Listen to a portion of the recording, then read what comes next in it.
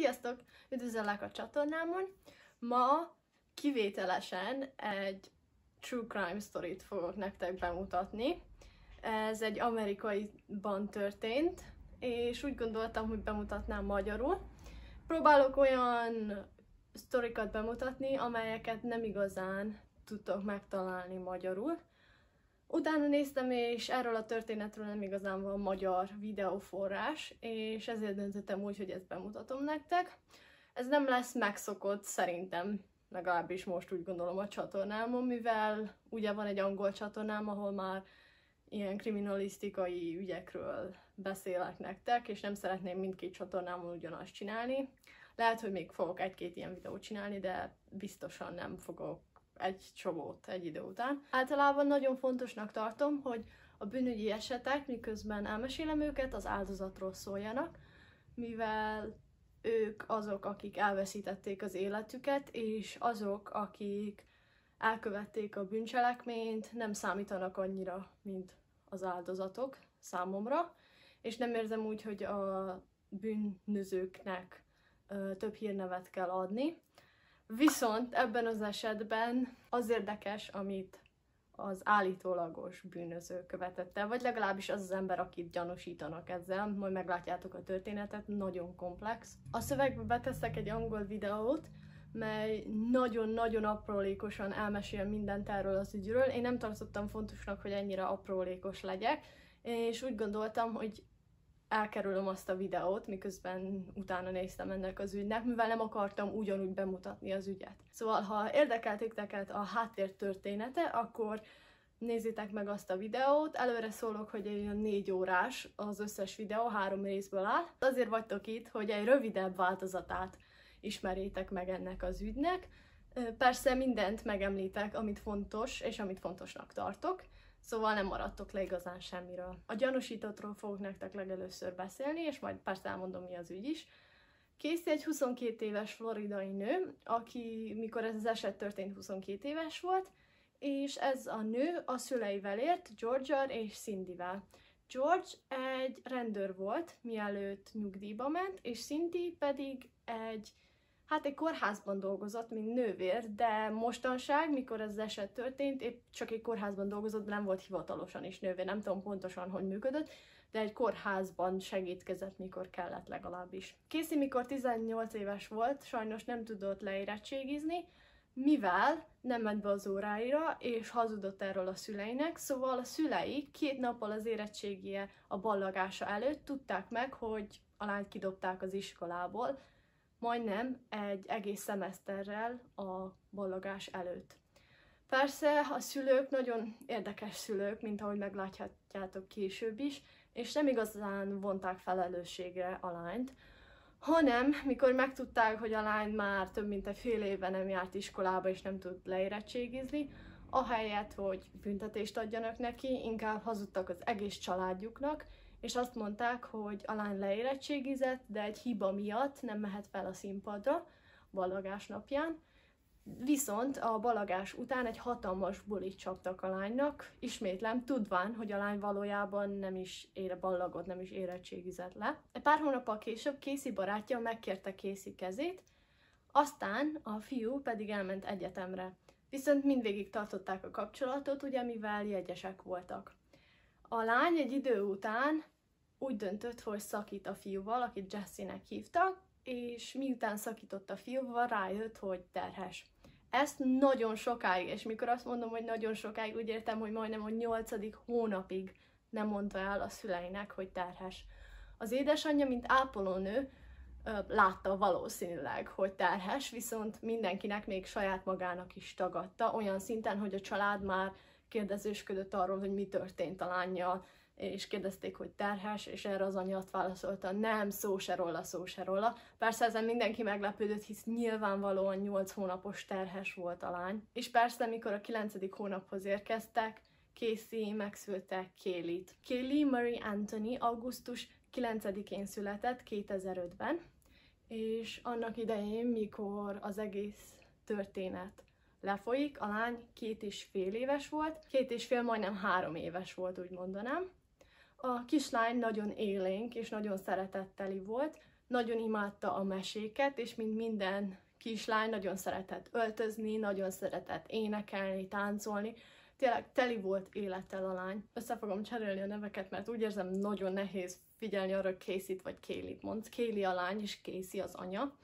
Mindenki elmondása szerint az anya, Casey, egy nagyon-nagyon tökéletes anya volt, imádta a lányát, imádta, imádott vele lenni, imádott időt eltölteni vele. Viszont azt is tudjuk, hogy a lány születése körül nagyon sok a kértőjel, mivel nem tudjuk pontosan ki Kéli apja. Miután ez a Jesse fiú, aki egyetemen volt, visszajött, mivel megtudta, hogy Casey terhes, visszajött egyetemről, de viszont a lány mégis szakított vele, mert nem szeretett volna Jesse-vel együtt lenni. Egy nagyon hosszú ideig Jesse felszerette volna nevelni Kélit, mint a saját gyermekét, és mikor kijött a DNS teszt, és kimutatta, hogy Kaylee valójában nem Jesse-nek a gyermeke, a fiút nem igazán érdekelte, a fiú még mindig imádta Kaylee-t, és felszerette volna nevelni.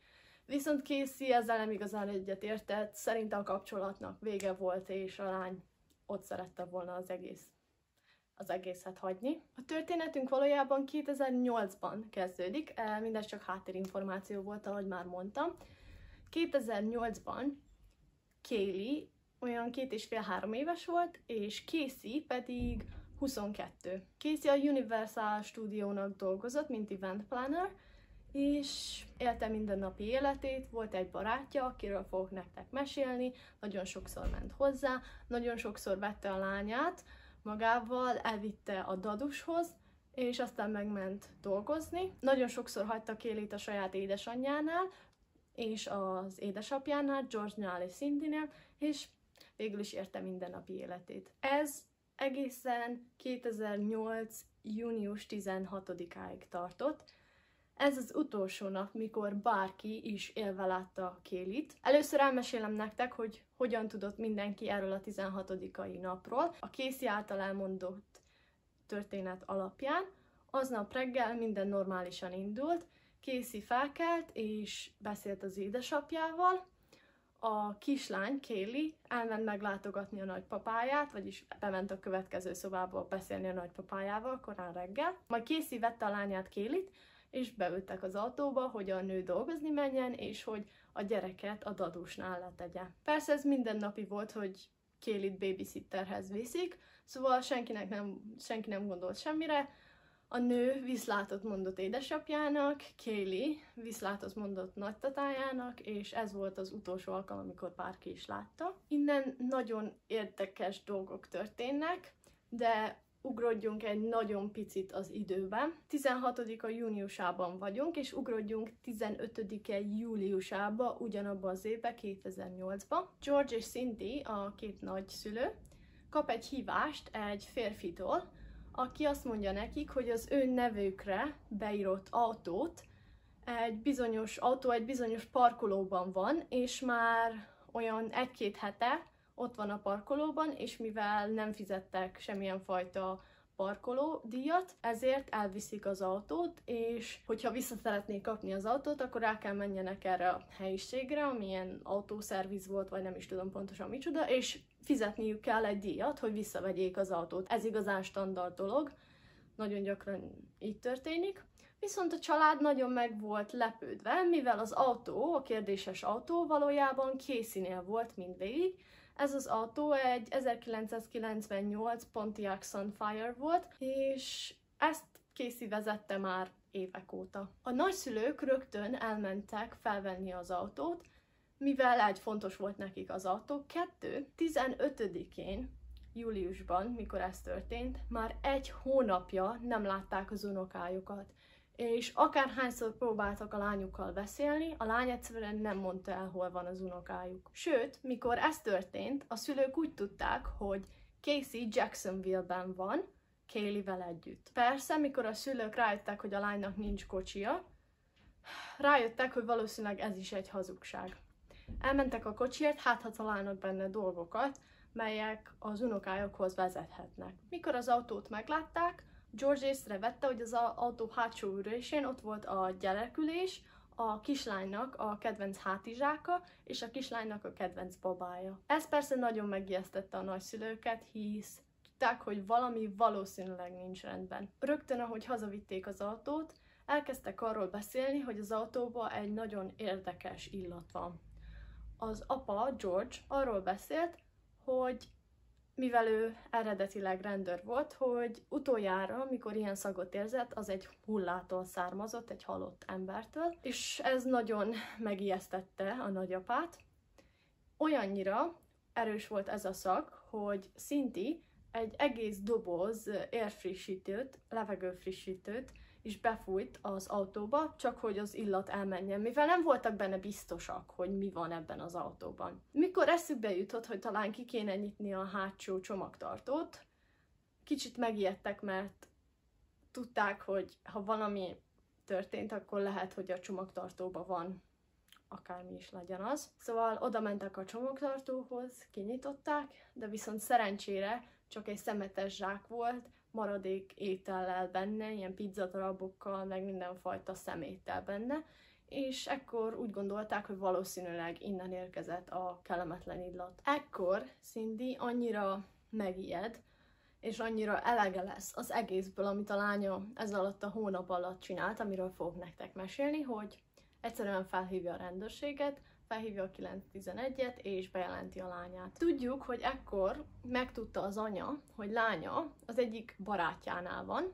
és felhívta ezt a barátot, aki egy lány volt, és megkérte a lányt, hogy figyelj, most oda vezetek a házadhoz, és légy szíves, bizonyos, bizonyosodj meg arról, hogy Casey nem megy sehová ebben a pillanatban, és hogy ott marad a háznál, mivel beszélnem kell vele és az anyja megérkezik, a lány készít beül az autóba, és az anyja teljesen elkezd ordibálni lányával.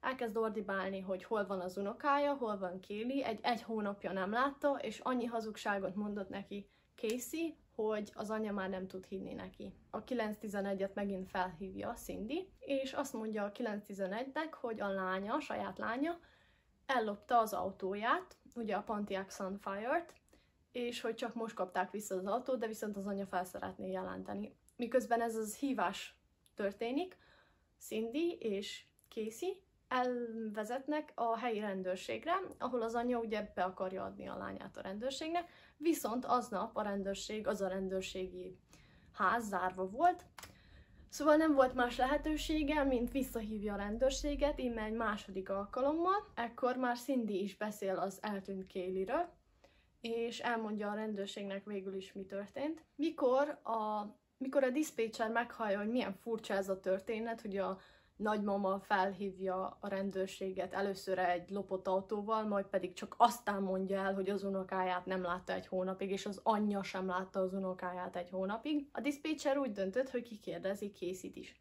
Ekkor Készi a telefonhoz ment, és elmesélte, hogy mi történt valójában Kélivel. Casey azt mondta, hogy a 2008. júniusában, június 16-án, amikor utoljára látták Kélit, Casey elvitte lányát Kélit a babysitterhez. Casey szerint a babysitter neve Zeneida Fernández González, és mikor a babysitter ugye elvette a lányt, a Casey elment munkába, és miután munkát befejezte, és ment volna a babysitterhez, hogy felvegye a lányát, hogy hazavigye, a babysitter eltűnt, és eltűnt a lányával együtt, és soha nem hívta a rendőrséget. Mikor a dispatcher ezt meghallja, eldönti, hogy túl fura ez a szituáció, hogy, hogy csak beszéljenek róla, szóval rögtön ki is küld rendőröket a házhoz. Aznap szinti összesen 3-9-11 hívást, tehát a rendőrséghez, és ezek alatt történtek azok a dolgok, amiről meséltem nektek, majd miután az első rendőrök kijöttek, egyből kikérdezték,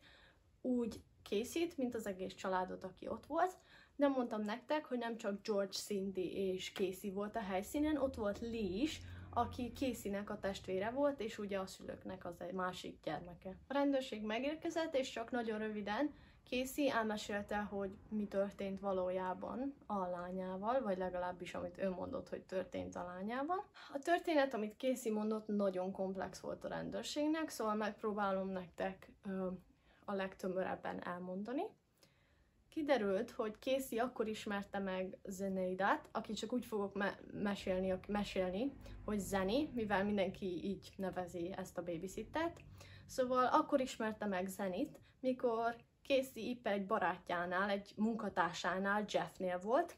Jeffnek van egy fia, Zack, és Zeni, Zacknek a babysittere volt. Ekkor Casey megkérte a babysittert Zenit, hogy vigyázzon a saját gyermekére és Kélire. Casey nagyon sok információt adott erről a zenéről, például, hogy Zeninek az édesanyját Glóriának hívják, és Michiganben él, ugye ez a történet Floridában játszódik. Zeni nagyon gyakran ment velük különböző mozikba, színházakban, nagyon gyakran együtt voltak, és ilyen történeteket mesél a rendőrségnek, hogy egyszer elmentek a moziba, és ez történt, és az történt, és a rendőrség megkérdezi, hogy van-e Caseynek gyanúja arról, hogy miért történt ez az egész? Zeni mondott-e valaha valamit, ami arra utalná Casey-t, hogy el szeretné rabolni a gyermeket. És azt mondja Casey, hogy nem, viszont egyszer azt mondta Zeni, hogy nagyon szeretné, ha neki is egy olyan gyermeke lenne, mint Kaylee. Ebben a pillanatban a rendőrség nem tudja, mit higgyen, de hisznek az anyának, hisz ez nagyon gyakran megesik, hogy a babysitterek ellopják a gyermeket. Mi, miután még tovább mennének a kikérdezésbe, megkérik Készít, hogy vigye el őket Zeninek a házához, mivel ugye a nő gyakran vitte a gyermekét a babysitternek a házába, és ott hagyta. Mikor elmennek és bekopogtatnak abba a házba, amit Casey mutatott a rendőrségnek, kiderült, hogy soha senki hasonló néven nem élt a házba, sőt, a ház két évet teljesen üres. Ekkor a rendőrség úgy dönt, hogy kihívnak egy rendőri csapatot, Zeninek, az anyjának a házához, Glóriához. A hely, ahol Casey mondta, hogy ez a nő él, arról is kiderült, hogy soha senki Gloria néven nem élt ebben a házban, abban a házban, amiről a Casey mesélt. Ekkor a rendőrség rájön, hogy valószínűleg a történet egy hazugság. És mivel még most se tudták megtalálni Kélit, a rendőrség úgy döntött, hogy letartóztatják Készit. Mikor letartóztatták Készit, bevitték a rendőrségre, és tovább kérdezték, mivel ugye semmi nem volt rendben, és ugyanebben az időben háttér információkat is kezdtek keresgélni Késziről, hogy ki ő, mit csinál, mit dolgozik, milyen a családja, stb. stb. Miközben kérdezősködnek dolgokat készítől, Casey elmondja a rendőrségnek, hogy Zeni, a babysitter,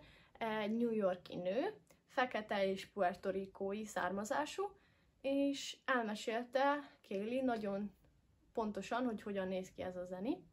Arról is mesélt, hogy nem tudja a telefonszámát a nőnek, mivel a SIM-kártyája Casey-nek az Universal stúdióban van, ahol ugye dolgozik. A rendőrség közben háttérinformációkat keres, ugye Casey-ről, és megtudnak valami nagyon érdekeset a munkahelyéről, viszont, hogy bebizonyosodnak róla, bebizonyosodjanak róla, elviszik Casey-t a munkahelyére, hogy a lány vegye a szimkártyáját, és ő meg tudják zenének a telefonszámát, ugye? Hogyha meg lesz a babysitter, meg lesz a lánya, akit ebben a pillanatban egy egész hónapig nem látott. Ekkor elmennek a Universal stúdióhoz, és el, ugye a, az ajtóhoz érnek, és egy biztonsági ott van. Casey köszön a biztonsági őrnek, és a biztonsági őr mondja neki, hogy sajnos nem mehet be, ha nincs egy kulcsa, egy bizonyos kulcs, egy szenzoros kulcs, és ekkor Casey mondja, de viszont, hogy van egy kártyája, amin ugye rajta van a fénykép, és írja Universal Studiot, és hogy ezzel engedje be. Biztonsági nem hajlandó. Ekkor a rendőrség viszont beszél a biztonságőrrel, hogy ne aggódjon, mi vagyunk a rendőrség, ugye minden rendben lesz, csak beszeretnénk menni egy pillanatra. És Casey bemegy a Universal Studiohoz, és elkezdenek a különböző ajtók mellett elmenni, és mikor látnak egy-egy embert, készít köszön nekik, és csak mennek tovább, egészen addig, míg majdnem 30 percig sétálnak az egész Universal Studio területén, és egy adott pillanatban befordulnak egy sarkon, és csak egy fal van, még ajtók sincsenek, és egy ilyen dead end terület. Ekkor Casey megfordul, és azt mondja a rendőrségnek, elkaptatok. Valójában nem is dolgozok itt már vagy két-három éve. A rendőrség nem hitt a füleiknek. Gondolták, hogy ez az igazság, mert a háttérinformáció, amikor kerestek készíről, ugyanezt mutatta ki, hogy valójában nem dolgozik a nő már ott. Viszont nem hittek a füleiknek, hogy valaki eddig vezetné a saját hazugságát, hogy elviszi a rendőrséget a helyre, és csak aztán mondja meg nekik. Ekkor nagyon idegesek lettek, és bevitték Casey-t az Universal Studio egyik szobájába, leültették, és nagyon-nagyon szigorúan elkezdtek vele beszélni. Arról, hogy tudják, hogy Casey hazudik, tudják, hogy valami történt a lányjal, a saját lányával, és ha nem történt valami a lányával, akkor most a mostan percben menjen el a lányához, vagy hozza a lányát magu a rendőrséghez, hogy mutassa be, hogy jól van, mivel nem hisznek neki többet. Casey továbbra is csak hazudik, a rendőrségnek elege lesz, letartóztatják, és nem csak letartóztatják, hanem fogházba viszik. A fogházban ugye lehet egy telefonhívásod, és ahogy beviszik készít a fogházba, a lány használja a telefonhívását, csak egy telefonhívásod van, és felhívja a szüleit.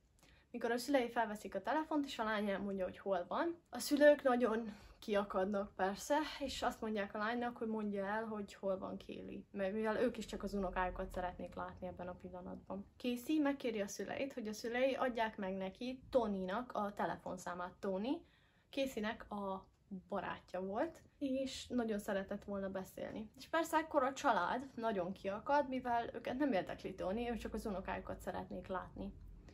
Casey továbbra is mondja, hogy ő csak Tonival szeretne beszélni, sőt, leszígya a szüleit, mikor azok Kéléről kérdezik, és azt mondja, hogy nem volt értelme felhívni őket. A lányt letartóztatják, és ekkor elindul egy rendőrségi nyomozás. A rendőrség nagyon sokfajta úton kezdett el nyomozni. Először is úgy döntöttek, hogy kiderítik, hogy mit csinált Casey abban az egy hónapban, miközben a lánya hiányzott, és hogy a szülők, a nagyszülők már mint miért nem hívták fel a rendőrséget hamarabb. A rendőrségnek nagyon nehéz dolga volt, ugye, mivel Casey végig hazudott. Ugyanebben az időszakban a családot és Casey-t meglátogatja José Baez, aki Casey-nek az ügyvédje lesz a bírósági ügy során, és egy másik szál is elkezdődik ebben a történetben.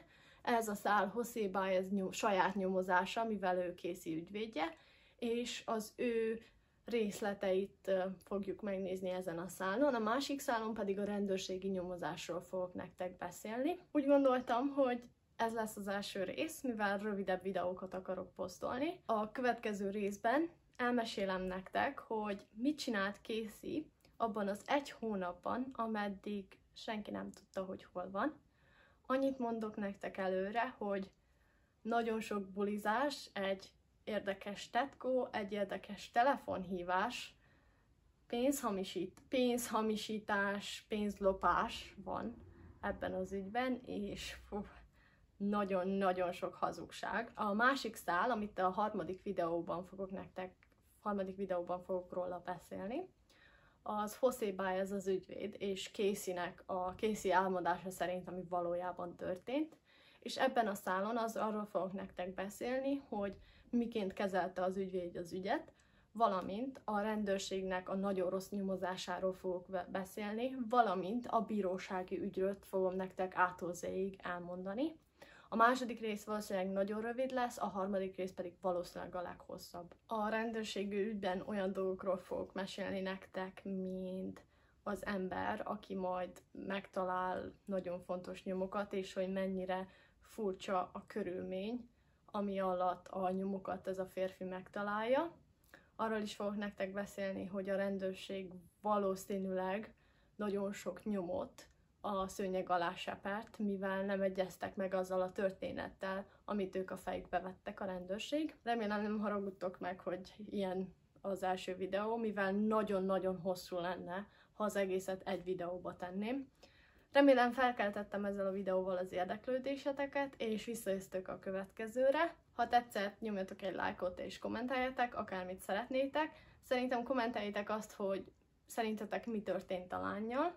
Ha ismeritek az ügyet, ne, ne mondjatok előre semmit. Köszönöm, hogy itt voltatok, és találkozunk következő alkalomkor. Sziasztok! Semmi kedvem nem volt videót forgatni ma. Semmi kedvem nem volt. De viszont egy idő után az ember produktívabb kell legyen, mint amennyire én szeretnék lenni. Szóval már meg volt írva a szöveg, csak nagyon-nagyon rá kellett magam vegyem, hogy végre felvegyem a videót, de itt vagyok és elkezdhetjük.